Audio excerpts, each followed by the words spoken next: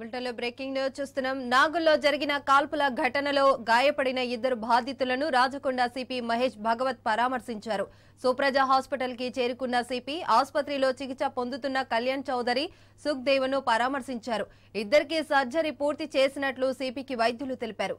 జరిగిన కాల్పుల ఘటనపై వివరాలను బాధితుల నుంచి మహేష్ భగవత్ అడిగి తెలుసుకున్నారు.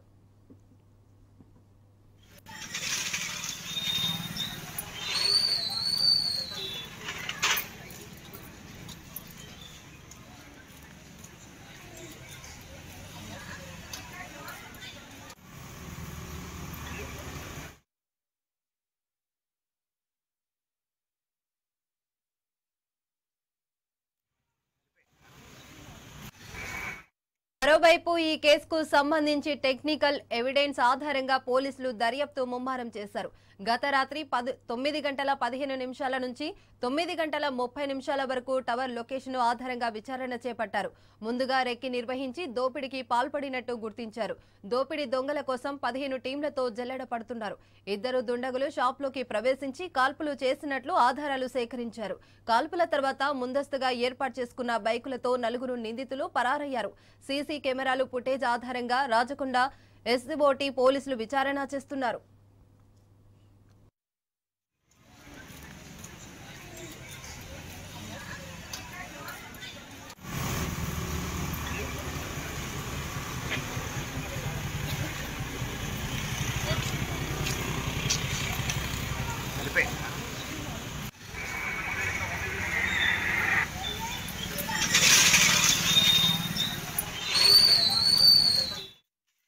హాస్పిటల్లో ఇప్పుడు వాళ్ళని చూసాము ఇక్కడ సుబ్రజ హాస్పిటల్లో ఇక్కడ ఉన్న డాక్టర్స్ అది మంచి ట్రీట్మెంట్ ఇచ్చి రాత్రి సర్జరీ కూడా అయిపోయింది. బుల్లెట్ కూడా తీసేశారు.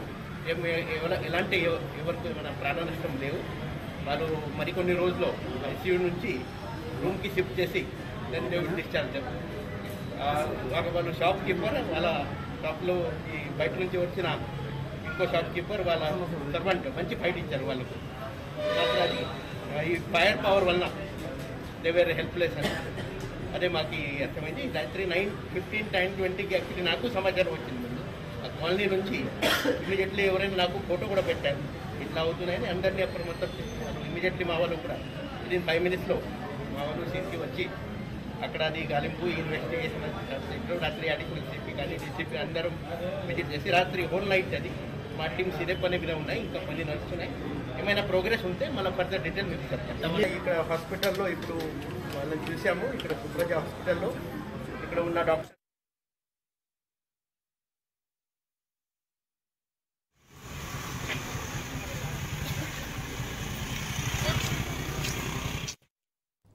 నాగుల్లో జరిగిన కాల్పుల ఘటనలో గాయపడిన ఇద్దరు బాధితులను రాచకొండ సిపి మహేష్ భగవత్ పరామర్శించారు. సుప్రజ హాస్పిటల్కి చేరుకున్న సిపి ఆసుపత్రిలో చికిత్స పొందుతున్న కళ్యాణ్ చౌదర్ సుఖదేవను పరామర్శించారు. ఇద్దరికి సర్జరీ పూర్తి చేసినట్లు సిపికి వైద్యులు తెలిపారు. జరిగిన కాల్పుల ఘటనపై వివరాలను బాధితుల నుంచి మహేష్ భగవత్ అడిగి తెలుసుకున్నారు. ఇదే అంశంపైన పూర్తి సమాచారం మా ప్రతినిధి అజయ్ అందిస్తారు. అజయ్ చెప్పండి అసలు ఏం జరిగింది? పూర్తి అప్డేట్స్ ఏంటి?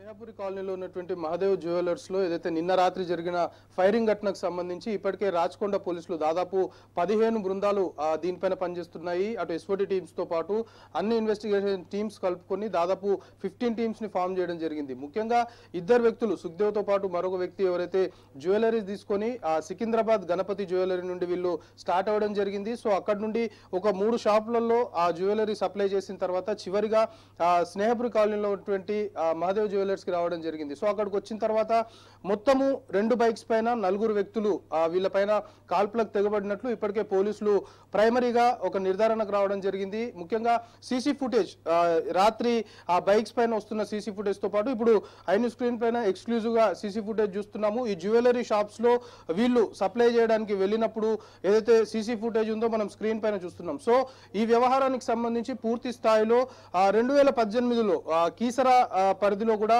సేమ్ ఇలాంటి ఇన్సిడెంటే చోటు చేసుకుంది. సో దాన్ని యూపీకి సంబంధించిన వ్యక్తులు ఆ, ఈ విధమైన ఆ, ఏదైతే ఆ, ఫైరింగ్ కావచ్చు లేకపోతే ఈ విధమైన ఘటన గతంలో పాల్పడడం జరిగింది. సో ఇప్పుడు కూడా సేమ్ యూపీకి సంబంధించిన బ్యాచే దీనికి పాల్పడ్డట్టు రాచకొండ పోలీసులు అయితే భావిస్తున్నారు. అన్ని కోణాల్లో దర్యాప్తు అయితే చేస్తున్నారు. ఎందుకంటే ఫిఫ్టీన్ టీమ్స్ ఫామ్ అయ్యాయని మనం చెప్పుకుంటున్నట్లు ముఖ్యంగా సికింద్రాబాద్ గణపతి జ్యువెలర్స్ నుండి వీళ్ళు స్టార్ట్ అయిన జ్యువెలరీ షాప్ నుండి పూర్తి స్థాయిలో ఏదైతే నాగోల్ వరకు ఎన్ని రూట్స్ అయితే ఉన్నాయో దానికి సంబంధించిన పూర్తి స్థాయి సీసీ ఫుటేజ్ మొత్తం కూడా ఇప్పటికే పోలీసులు పరిశీలిస్తున్న సిచ్యువేషన్ కనబడుతుంది. బహుశా ఈ రోజు సాయంత్రం వరకే దీనికి క్లారిటీ క్లారిటీ వచ్చే అవకాశం కూడా ఉంది. ఎందుకంటే రెండు వేల పద్దెనిమిదిలో ఇదే తరహా ఘటన జరిగింది. దానికి సంబంధించి నిందితులందరూ కూడా జైల్లో ఉన్నప్పటికీ కూడా వాళ్ళకి సంబంధించిన గ్యాంగ్స్ బయట ఇంకేమైనా ఉన్నాయా అనే కోణంలో కూడా రాచకొండ పోలీసులు అయితే ప్రస్తుతము దర్యాప్తు చేస్తున్న పరిస్థితి. సో ఓవరాల్గా ఎక్స్క్లూజివ్ సీసీ ఫుటేజ్ ఇప్పుడు బయటకు వచ్చాయి. దీనికి సంబంధించి పూర్తి స్థాయిలో ఐను స్క్రీన్ పైన కూడా చూడొచ్చు. అంటే ఆ ఇద్దరు వ్యక్తులు ఎవరైతే గోల్డ్ సప్లై చేస్తున్నారో వీళ్ళు సప్లై చేస్తున్న క్రమంలో అంటే ప్రతి గురువారము ఏ ఏ షాప్స్కి వెళ్తారు అనేది అంతా ప్రీ ప్లాన్డ్ గానే ఏదైతే ఈ ఫైరింగ్ సంబంధించి సంబంధించిన బ్యాచ్ వీళ్ళకి రెక్కి నిర్వహించింది అనేది కూడా చాలా క్లియర్గా పోలీసులు అయితే ఒక ఎస్టాబ్లిష్మెంట్ అయితే రావడం జరిగింది. ఇప్పటికీ ఇద్దరు ఎవరైతే చికిత్స పొందుతున్నారో హాస్పిటల్లో రాచకొండ పోలీస్ కమిషనర్ మహేష్ భగవత్ కూడా డాక్టర్లతో మాట్లాడటము వాళ్ళకి సంబంధించి ఆరోగ్య పరిస్థితి ఏ విధంగా ఉందనేది తెలుసుకోవడము ఎలాంటి ప్రాణాపాయం లేదు అనేది కూడా మహేష్ భగవత్ చెప్పడంతో పాటు నాలుగు రౌండ్స్ కాల్పులు జరిపినట్లు కూడా పోలీసులు ఇప్పటికే గుర్తించడం జరిగింది. సో ఓవరాల్గా ఈ ఇన్సిడెంట్ సంబంధించి మాత్రం పూర్తి స్థాయిలో దర్యాప్తు చేస్తున్నారు. ఖచ్చితంగా రెక్కి నిర్వహించి పూర్తిగా ప్రీ ప్లాన్ గానే ఈ ఫైరింగ్కి పాల్పడినట్లు మాత్రం పోలీసులు ఒక నిర్ధారణకు అయితే రావడం జరిగింది. అయితే ముఖ్యంగా ఈ వ్యవహారానికి సంబంధించి నిన్న రాత్రి కూడా వీళ్ళు చివరిగా మహదేవ్ జ్యువెలర్స్కు వచ్చినప్పుడు ఆ నిందితులు ఏదైతే ఫైరింగ్కి పాల్పడ్డారో వారు ముందుగా మహదేవ్ జ్యువెలర్స్ లోపలికి రావడం జరిగింది. అక్కడ ఇద్దరు వ్యక్తులు ఎవరైతే ఇప్పుడు గాయపడ్డారో ఇద్దరు వ్యక్తులతో పాటు షాప్ ఓనర్ కూడా ఉండడం జరిగింది. సో ముందుగా వీళ్ళ నలుగురు ఎవరైతే ముగ్గురు ఉన్నారో వీళ్ళతో పాటు నలుగురు వ్యక్తులు లోపలికి రావడము ముందుగా ఒక వాగ్వాదం చోటు చేసుకుంది ప్రతిఘటించే ప్రయత్నం చేస్తున్న క్రమంలోనే ఫైర్ ఓపెన్ చేశారు. సో ఫైర్ ఓపెన్ చేసిన తర్వాత గాయాల పాలయ్యారు గాయాల పాలైన తర్వాత వెంటనే ఆ రెండు కేజీల బంగారంతో పాటు ఒక లక్ష డెబ్బై వేల నగదు ఆ బంగారంతో పాటు నగదుతో నిందితులు పరారవడం జరిగింది. సో వాళ్ళు షాప్ నుండి బయటికి వెళ్ళే సీసీ ఫుటేజ్ చాలా కీలకంగా మారిందని చెప్పాలి. ఎందుకంటే లాస్ట్ ఫైరింగ్ ఏదైతే మాధవ్ జ్యువెలర్స్ దగ్గర జరిగింది ఫైరింగ్ జరిగిన తర్వాత నిందితులు అక్కడి నుండి ఎటు వెళ్ళారు అనేది ట్రేస్ అవుట్ చేస్తే ఖచ్చితంగా ఆ, ఇటు నాగోల్ నుండి ఎల్బీ నగర్ కావచ్చు లేకపోతే ఇటు ఉప్పల్ దిశగా వెళ్ళే అవకాశం ఉంటుంది కాబట్టి రెండు రూట్లకు సంబంధించిన సీసీ కెమెరాలను ఇప్పటికే పోలీసులు పూర్తి స్థాయిలో కూడా పరిశీలిస్తున్న సిచ్యువేషన్ అయితే నెలకొంది. సో ఓవరాల్గా ఈ కేసుని కొంతవరకు రాచకొండ పోలీసులు ఛాలెంజ్ గానే తీసుకున్నారు. ఎందుకంటే ఫైరింగ్ ఘటన చాలా రోజుల తర్వాత తెరపైకి వచ్చింది. మాదాపూర్ పోలీస్ స్టేషన్ లిమిట్స్లో ఫైరింగ్ తర్వాత హైదరాబాద్లో ఎక్కడ ఫైరింగ్ ఘటన వెలుగులో రాలేదు కానీ ఏకంగా బంగారం షాప్లో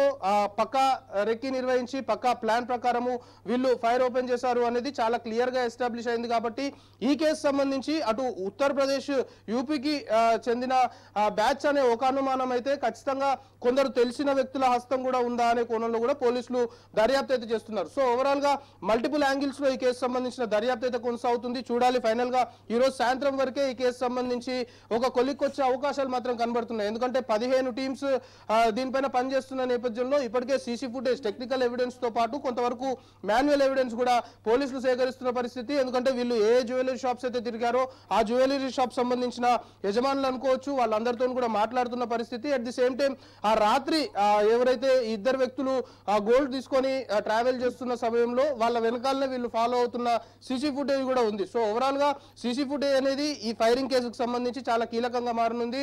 మొత్తానికి రాచకొండ పోలీసుల నుండి మనకు అందుతున్న ఇన్ఫర్మేషన్ని బట్టి ఈ రోజు సాయంత్రానికి కూడా ఈ ఎంటైర్ ఇష్యూకి సంబంధించి ఫైరింగ్ ఎవరు తెగబడ్డారు? అసలు ఇందులో నిందితులు ఎవరు?